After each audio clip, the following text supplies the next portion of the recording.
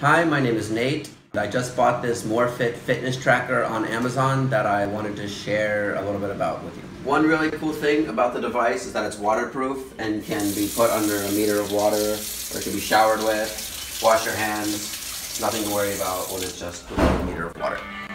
Uh, the notifications are great. When you have incoming calls, the device will vibrate and show you who is calling. And here are the different screens on the device. It has the time, the number of steps taken, how long you've been sleeping, how many calories have been burned, how many meters you've walked, and the messages. And you can also check by long holding the home button the last three messages that you've received. Another nice thing is that the device can be used as a USB.